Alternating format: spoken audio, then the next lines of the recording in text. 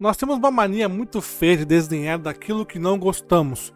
Por mais que isso pareça algo bobo, sem um peso aparente, rebaixar algo parece trazer o conforto. Parece uma ferramenta de autoajuda, fazendo com que nosso ego seja trabalhado numa tentativa de nos afastar daquilo que desdenhamos, sendo mais fácil aceitar que não precisamos disso. O interessante é que a brincadeira em torno de Death Stranding vem mais para somar do que diminuir o jogo mais recente de Hideo Kojima, isso porque alguns chamavam o jogo do desenvolvedor japonês de Walking Simulator, o famoso simulador de caminhada. A intenção dessa galera, e comparar Stranding a esse estilo de jogo, era diminuí-lo, e não no sentido de realmente trazer uma informação relevante. Até porque esse mesmo pessoal esquece que dois dos jogos mais aclamados pelos jogadores de videogame, Firewatch e What Remains of Edith Finch, inclusive esse último é vencedor do BAFTA de melhor jogo, são Walking Simulators. A tal da brincadeira tem como objetivo diminuir e tomar o sentido do jogo impreciso. Entenda que o diminuir que eu utilizo agora é como uma espécie de limitador. Um jogo como Firewatch possui um nível de mecânicas de jogo bem limitadas em comparação ao que se pode fazer em Death Stranding. E quando você realmente joga a nova obra de Kojima, você entende que o caminhar é mais uma mecânica dentro de algo que ele criou.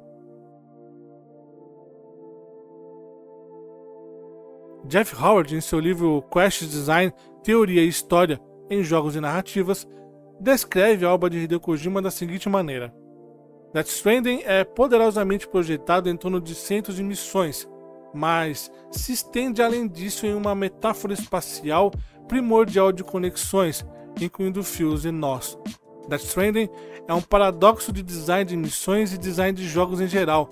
Um simulador de caminhada indie com um orçamento AAA que participa igualmente de reflexões complexas e cerebrais sobre a vida após a morte, bem como meditações sociológicas, políticas e filosóficas sobre a conexão humana durante uma pandemia. Eu acompanho Hideo Kojima desde Metal Gear Solid, e desde esse jogo eu já entendi a proposta do cara em relação às suas criações. Todos os jogos da franquia trazem elementos que provocam uma diferenciação deles aos demais jogos lançados por outros criadores. Kojima coloca muito de sua experiência de vida em suas criações, e ele gosta de deixar isso bem claro, ainda mais quando ele cria algo que entende ser novo na indústria, e isso muitas vezes é uma justificativa usada por ele quando fala de algo que acabou de lançar.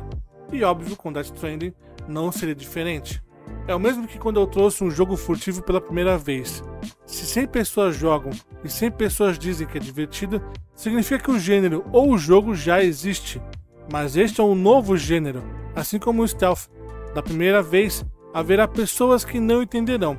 Levará tempo para que as avaliações reais cheguem.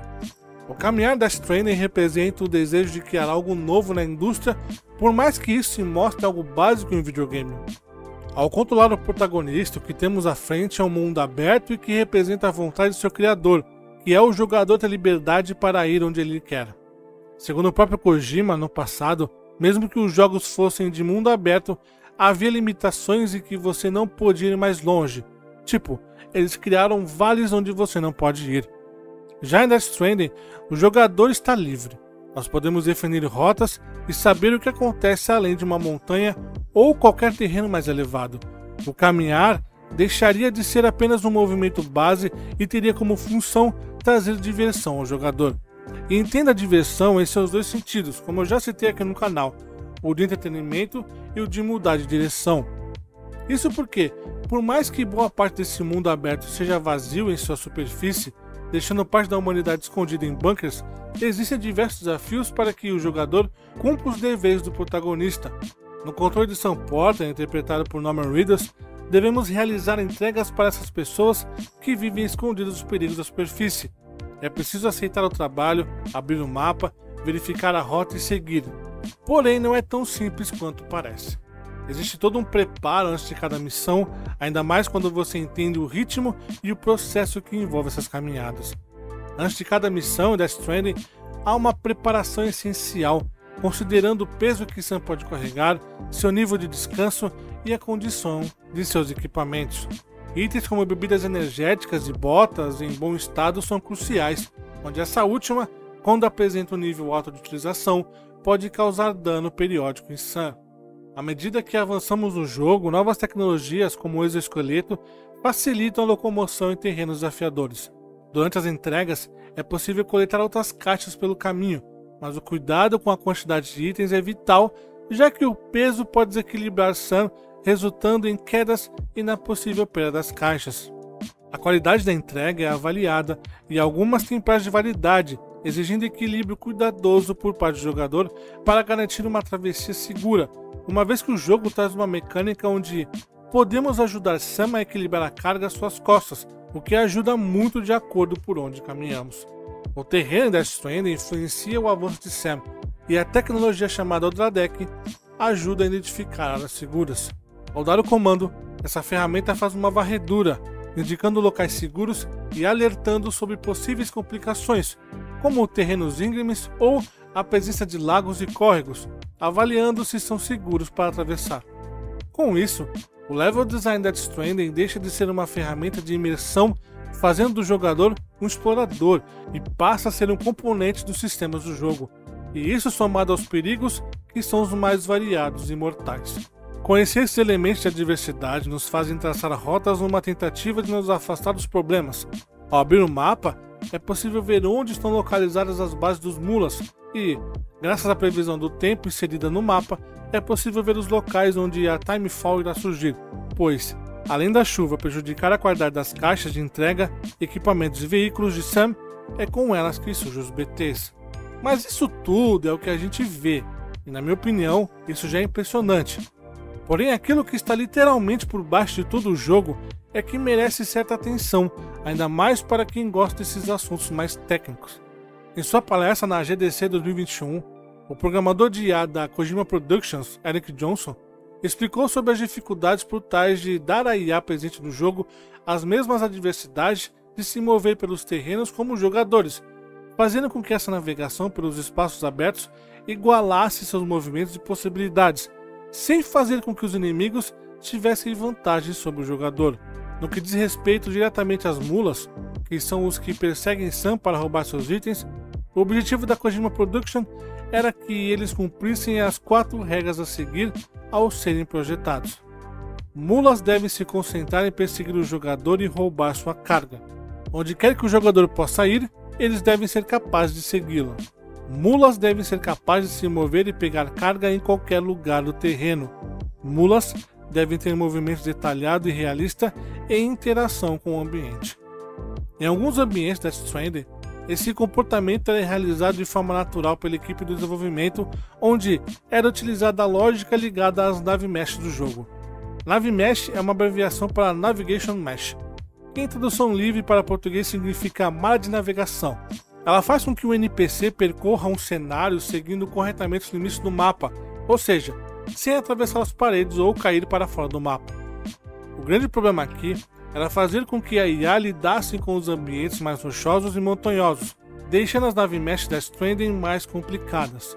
O interessante é que isso vai de encontro com o que Miguel Sicart menciona em seu artigo para a Revista Nacional de Pesquisa de Jogos de Computador, a Game Studies, falando que tanto o jogador quanto agentes controlados pela IA conseguem mexer com as regras e as mecânicas de um jogo. A mecânica do jogo está preocupada com a interação real com o estado do jogo, enquanto as regras fornecem um espaço de possibilidade onde essa interação é possível, regulando também a transição entre os estados. Nesse sentido, as regras são modeladas de acordo com a agência, enquanto as mecânicas são modeladas para a agência. O canal AI Games discute desafios de desenvolvimento relacionados à volatilidade das naves meshes. Essas malhas de navegação são calculadas com base no ambiente atual, mas mudanças como objetos caindo ou ações do jogador em Death Stranding exigem recálculos frequentes. A adição de elementos como escadas, cordas e eventos com BTs complica ainda mais, pois cada nova intervenção exige uma reavaliação da malha.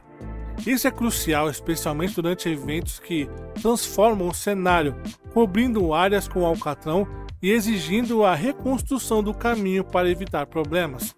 O jogo buscou criar uma paridade transversal, garantindo que as decisões do jogador afetassem também a IA e outros elementos do jogo. O padrão inteligência artificial prioriza áreas próximas, considerando custos e distâncias para garantir a eficiência da navegação. Mas, devido ao terreno Death Stranding ser irregular, isso poderia causar uma fratura na malha de navegação, fazendo com que o personagem controlado pela IA ultrapassasse esse limite. Foi aí então que o time de desenvolvimento resolveu criar as bolhas Navimesh. Essa solução só constrói a malha de navegação na proximidade dos próprios personagens, em torno do jogador e de outros personagens não controlados, o que significa que a nave mesh existe apenas em sua proximidade imediata. Mas isso passou a atrapalhar a navegação da IA. Um jogador poderia facilmente mudar sua direção caso algo acontecesse com o caminho à frente. Já a IA não teria tempo para resposta, já que a malha é limitada a um determinado espaço à sua volta. A solução foi adotar um processo que, segundo Tommy Thompson do IA Games, é conhecido como localização de caminhos baseado em eventos. Cada NPC ao se mover pelo mundo estabelece o que é conhecido como corredor entre sua localização atual e o destino. E além disso tudo, Johnson comenta na mesma apresentação da GDC que a equipe teve que recorrer a um sistema chamado AI Road Network.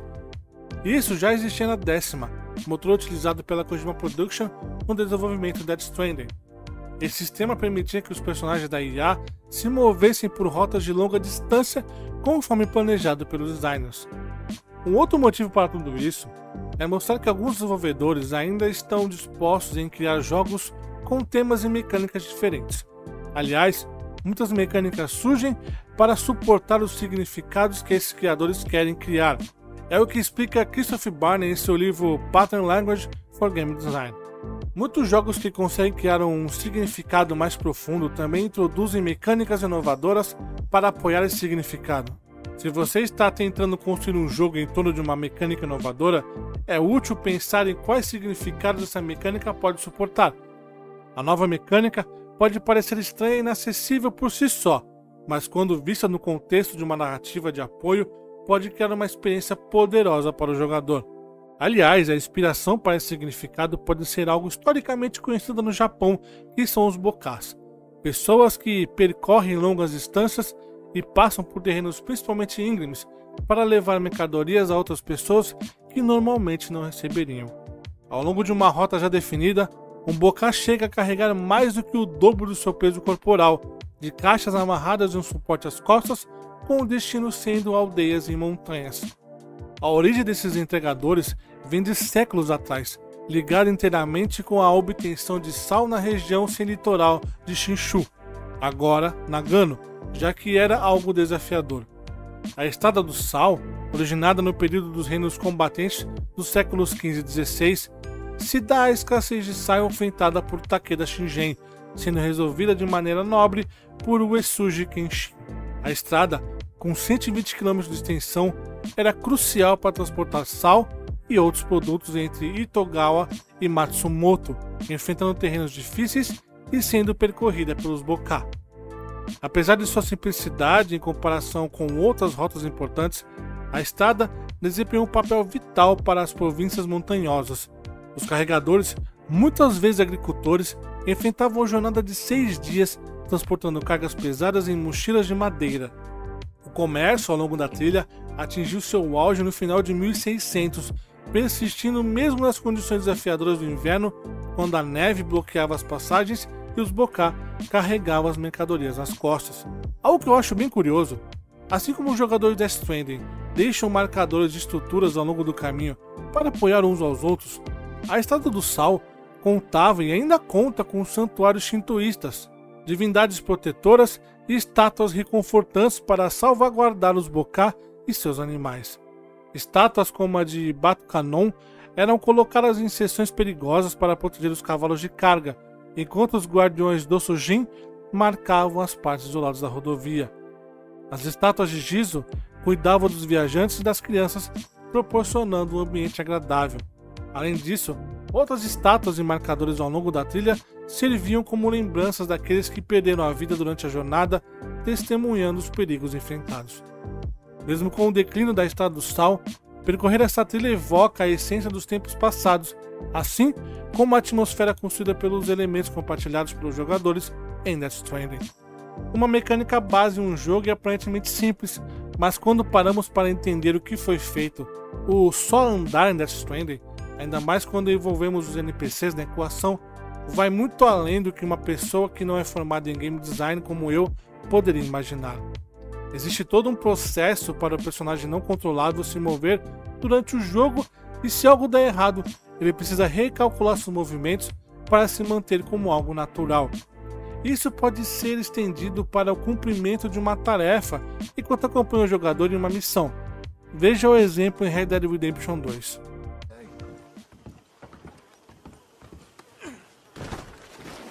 Okay, I can deal with the rest of the bodies. You go meet up with the caravan, guide them in. All right, see you soon. I hope.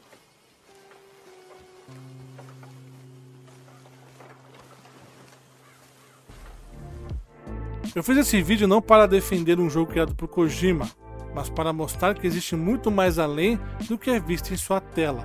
Nós temos o produto final em nossas mãos. Muitos não se dão o trabalho de jogar algo para construir uma opinião. Ela decide acreditar no que é dito, decide usar a experiência do outro como sendo a dela. Mas a real experiência só vem quando é você que tem o contato direto com uma obra, seja um jogo, um livro, um filme. É o que o próprio Kojima disse. Levará tempo para que as avaliações reais cheguem.